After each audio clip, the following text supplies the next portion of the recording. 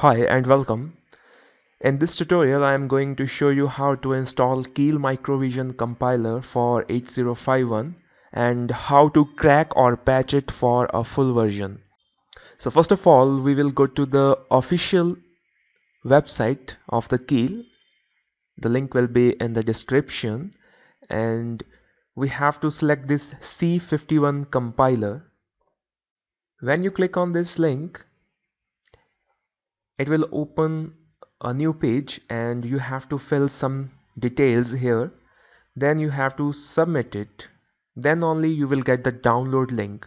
Remember that this downloaded file will be a setup for Keil Microvision's latest version but for a demo purpose.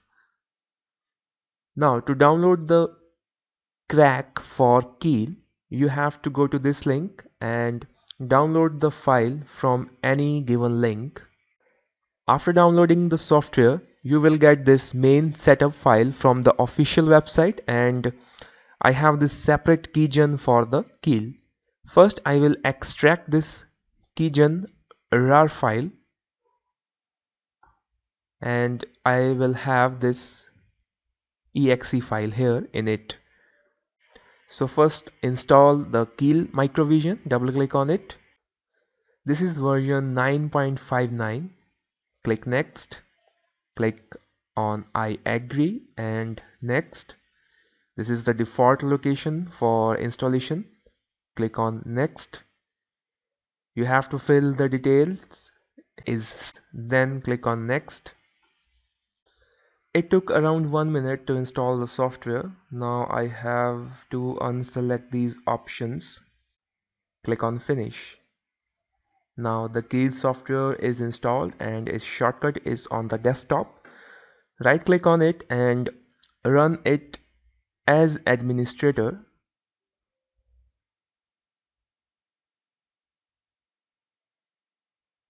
Now this is a demo version. Go to file and click on license management. Make sure you have run this program in admin mode license management.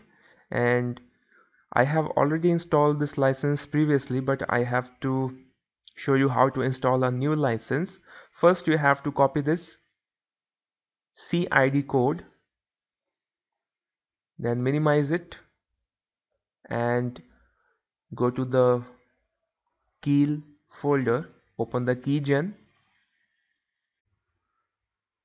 paste the CID code here and select your target. I have C51 so I will select this one.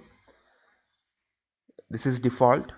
Professional developers kit and just click on generate.